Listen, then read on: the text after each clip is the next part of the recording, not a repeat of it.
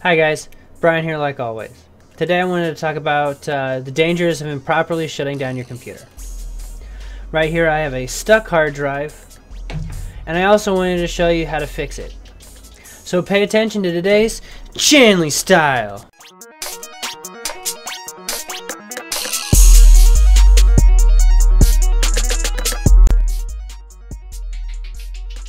Remember, proper preparation is key to completing a successful project.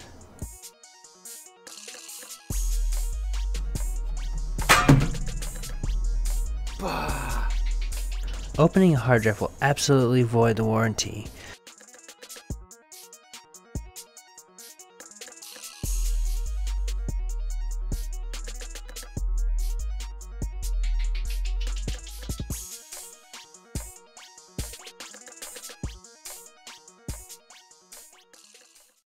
This is my old IDE enclosure that I will be using to test and power this uh, stuck hard drive. Uh, the easiest way to tell if your uh, hard drive is stuck is once you apply the power, it's going to make this sound.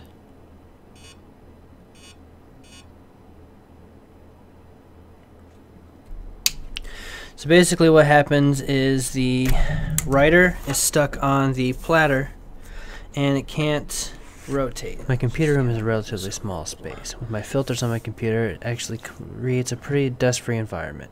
Most people would say you need a dust-free environment, but this is an old hard drive and I don't really care what happens to it. I'm not really going to be using it. I just want to crack it open to show you guys what this looks like. I'm actually using a T9H star bit or Torx bit, depending on what you want to call it. Pick them up pretty much anywhere.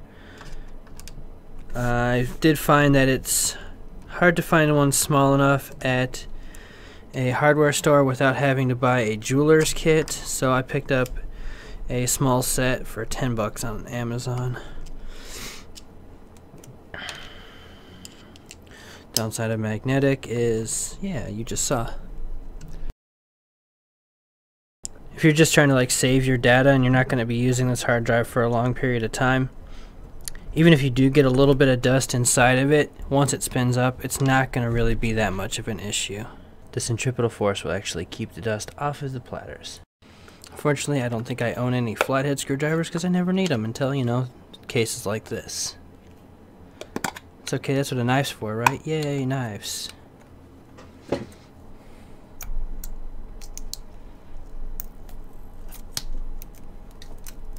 Totally forgot about that screw.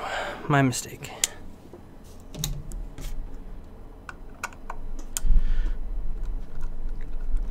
I did need to pry up the edges though because they use a pretty uh, solid adhesive on the top part. But if you see right there, both of the riders are stuck. So what you're going to do is just slowly rotate until they're both clear, like that. Oh, by the way, this is a anti-static foam. I just put that down for extra precautions. And the cardboard it's just so I don't scratch my glass desk.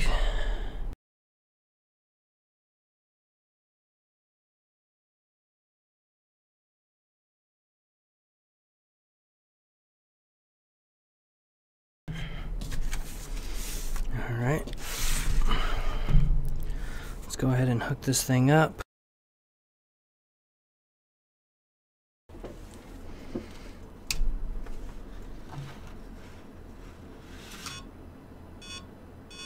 If you listen closely, it almost spun up. Hmm, nope, that didn't fix it. This thing's just trashed. Well, normally that should fix it. Let me, uh, let me get back to you.